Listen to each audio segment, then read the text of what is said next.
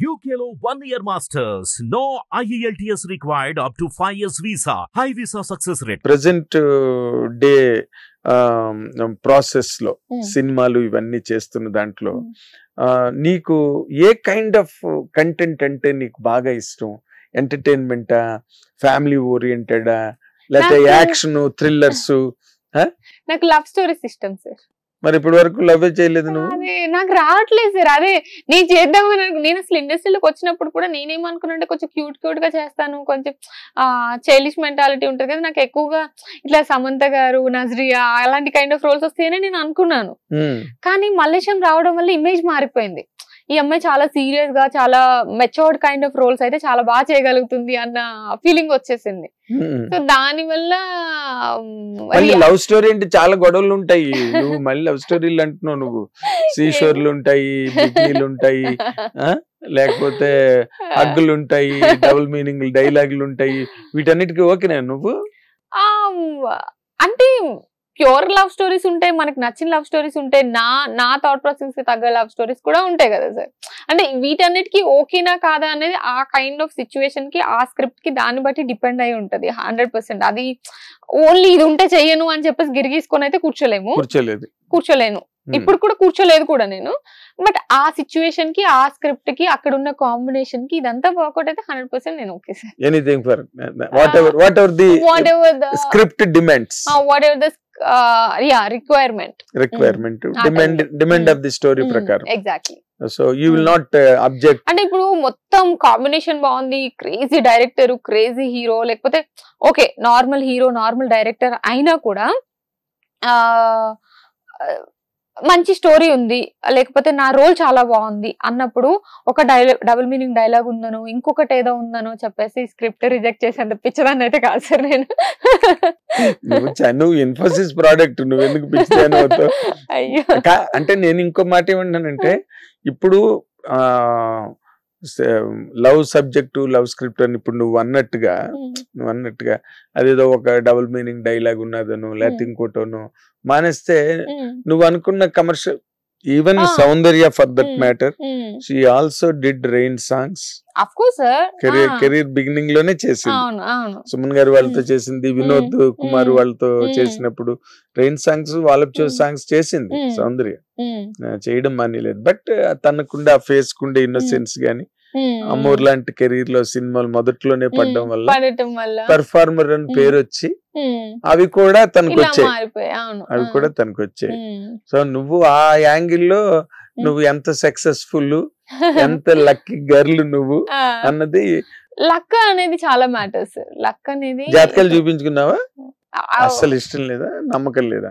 అంటే ఎప్పుడు దాని మీద అంత బ్రెయిన్ పెట్టి ఇది మనం చేద్దామా లేకపోతే ఎవరి దగ్గర చూపించుకుందామా నేను ఎప్పుడు ఆ- ఆ యాంగిల్లో కూడా ఏం ఆలోచించలేదు సార్. సో. నాకు అంత మొదటి నుంచి చిన్నప్పటి నుంచి మీ మదర్ గాని మా మదర్ వాళ్ళు చూపించారు కానీ నేను ఎప్పుడు అంతగా పట్టించుకోలేదు. అమ్మాయి ఎవరి మాట విందని చెప్పారు చెప్పారేమో? ఏమో సార్ చెప్పారేమో మరి. విన్నప్పుడు వింటాను సార్ చాలా ఇంట్రెస్టింగ్గా కానీ వెంటనే మర్చిపోతాను. అంటే అంత బుర్రలోకి తీసుకొని అదొక కాన్సెప్ట్ ఉంది అని చెప్పి అంత ఎక్కువగా ఎప్పుడు థింక్ చేయను. పాజిటివ్ ఆర్ నెగిటివ్ ఎందుకంటే అది మనల్ని ఇంపాక్ట్ చేస్తుందని నేను నమ్ముతా.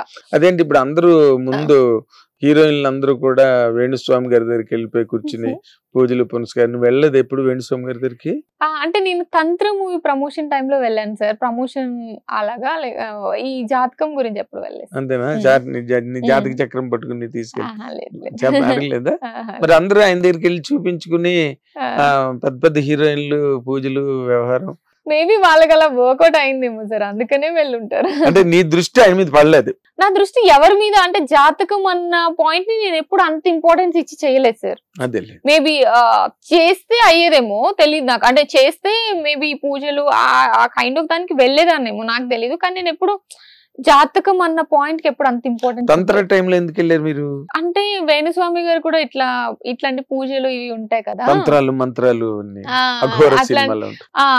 అది కొంచెం ప్రమోషన్స్ అలా చేద్దామేమో అని వెళ్ళాం సార్ ఓకే అది ఒక్కటే ఇంటరాక్షన్ అనమాట ఆయన పూజలకి ఎప్పుడు ఇన్వైట్ చేయలేదు ఆయన? లేదు. సో నెక్స్ట్ నీ రిలీజ్ ఎప్పుడు అనన్య? నెక్స్ట్ నవంబర్లో డిసెంబర్లో ఉండొచ్చు సార్. శ్రీకాకుళం షెర్లాక్ హోమ్స్ అని. అది చేశాను సార్. మంచి title. Srikakulam Sri- Sherlock Holmes. మంచి.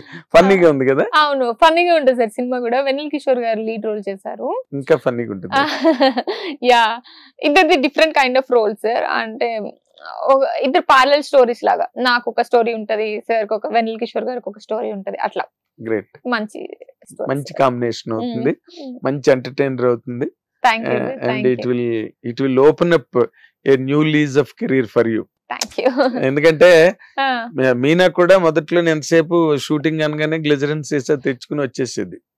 ఎందుకంటే ఎప్పుడు ఏడుపులు. బరువు హెవీనెస్. క్యారెక్టర్లు అవన్నీ దాని నుంచి దాటి తను కూడా next film sir Srikakulam Sherlock Holmes comedy thriller sir అది. కామెడీతో థ్రిల్లింగ్ అదంతా ఉంటది. నా మేబీ నా క్యారెక్టర్ మరీ అంత కామెడీ ఉండకపోయినా కామెడీ అండ్ థ్రిల్లర్ సార్ లేచింది మహిళ లోకం అని ఓన్లీ గర్ల్స్ ఓన్లీ విమెన్తో ఒక సినిమా చేశాం సార్. నేను మంచి లక్ష్మి గారు శ్రద్ధ దాస్ గారు హేమ గారు అందరం కలిసి. సో అది ఫుల్ కామెడీ సార్. కథకేలి అని ఇంకొక సినిమా చేశాను. అది హారర్ కామెడీ సో నెక్స్ట్ అంతా కామెడీ ఇంక్లూడ్ అయిన. ప్రాజెక్ట్స్ ఉన్నాయి. ఓ, అంటే ఇవి అన్ని కలిపే చేశాను కానీ కామెడీ నేను అప్పుడు ఆలోచించుకున్నప్పుడు కూడా ఓన్లీ ఏడుపు అన్నట్టు కాకుండా అన్ని కలిపే చేశాను. కానీ ఫస్ట్ రిలీజ్ అవడం వల్ల ఓన్లీ ఏడుపు చేసినట్టు వచ్చేసింది. సరే ఇప్పుడైనా ఇంకా ఏడుపులు మానేసి నవ్వడం మొదలెడతావేమో. నవంబర్ నెక్స్ట్ త్రీ రిలీజెస్ అలానే ఉన్నాయి కాబట్టి అదే అదే. అంటే నువ్వు అసలు నార్మల్గా నువ్వు మాట్లాడినప్పుడు కూడా నా ఇంటర్వ్యూలో నవ్వినంత ఎప్పుడు నవ్వి. ఉండవు నువ్వు. అవును సార్ కరెక్టే. కదా?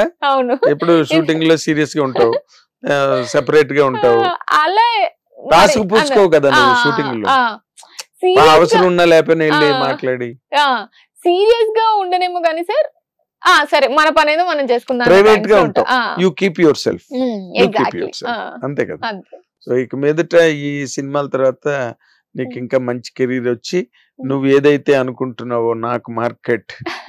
నేను నేను it is me Ananya Nagalla అనే నేను అనే టైప్లో పాలిటిక్స్లోకి వెళ్ళే అవకాశం ఏమైనా ఉందా? అయ్యో లేదు. అసలు ఆలోచన లేదు. ఆలోచన అసలు ఇప్పుడు ఈ ఏజ్లో అసలు ఆ థాట్ అనేది లేదు నాకు. అదేలే. అదే and of course I will I really I wish you all the best ఎందుకంటే నీలాంటి స్టార్ట్ ఓపెనింగ్ ఉన్న హీరోయిన్స్ లేరు. రావడమే వస్తూనే ఒక పెర్ఫార్మింగ్ రోల్తో రావడం.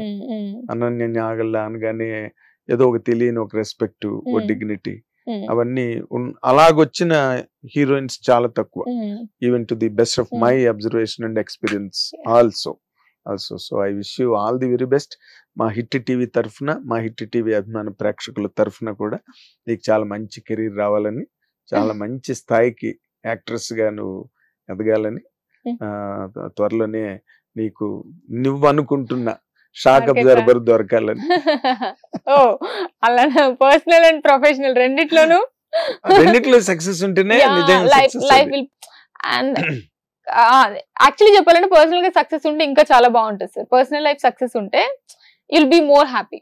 Basically చాలా మంది దాని Mm. గురించేనే స్ట్రగుల్ అవుతారు. Career mm. స్ట్రగుల్ ఒకటైతే పర్సనల్ లైఫ్లో కూడా. సక్సెస్ఫుల్గా కంఫర్టబుల్గా ఉంటేనే. దెన్ యు ఆర్ ఫుల్ ఎలిమెంట్స్లో ఉన్నట్టు. ఎగ్జాక్ట్లీ లైఫ్ ఓకే మంచి ప్యాకేజ్ లాగా హ్యాపీగా మంచి వెళ్ళిపోతుంది. ప్యాకేజ్ మంచి ప్యాకేజ్ ఇచ్చాడు దేవుడు నీకు యా